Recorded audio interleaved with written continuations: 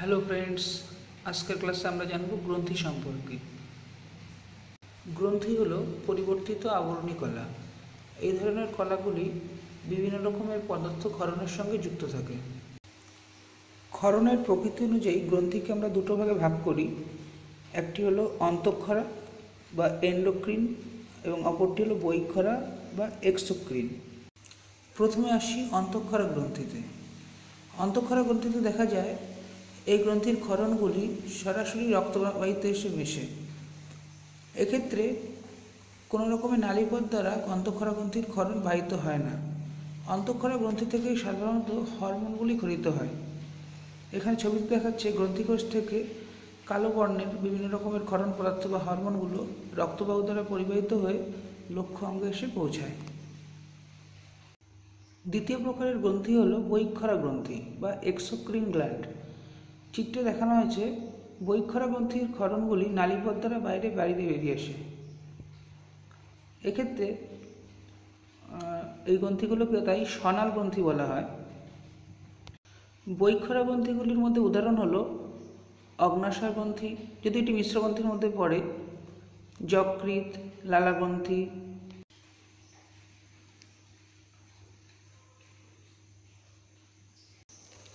অটোক্রিন গ্রন্থি বা অটোক্রিন কোষ। এই ধরনের গ্রন্থির কোষগুলি নিজেদের ক্ষরণ দ্বারা নিজেরাই উদ্দীপ্ত হয়। যেমন ইন্টারলিউকিন, ক্ষরণকারী কোষ।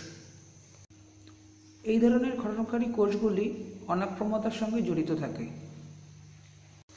প্যারাক্রিন গ্রন্থি। এই ধরনের গ্রন্থির ক্ষরণে দেখা যায় পাশাপাশি সংলগ্ন দুটি গ্রন্থির একটি গ্রন্থির ক্ষরণ অন্য একটি সংলগ্ন কোষের ক্ষরণকে অবদমিত করে।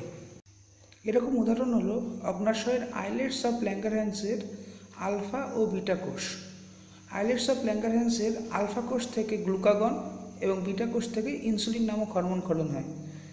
যখন আলফা কোষের গ্লুকাগন ক্ষরণ বৃদ্ধি পায়, তখন ইনসুলিন ক্ষরণ কমে যায়।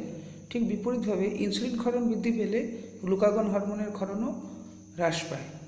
এটি একটি প্যারাক্রিন ক্ষরণের উদাহরণ।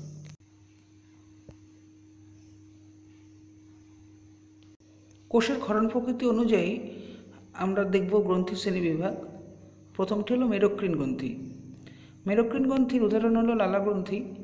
এই ধরনের গ্রন্থির ক্ষরণের ক্ষেত্রে গ্রন্থি কোষগুলি কোনো রকমভাবে ক্ষতিগ্রস্ত হয় না।